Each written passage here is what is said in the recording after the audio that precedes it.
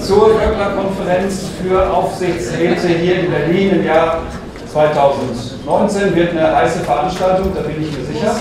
Im Klartext geht es darum, wie gehen Unternehmen, Aufsichtsräte von Unternehmen, mit Finanzinvestoren um, so als Jongleure des Kapitalismus.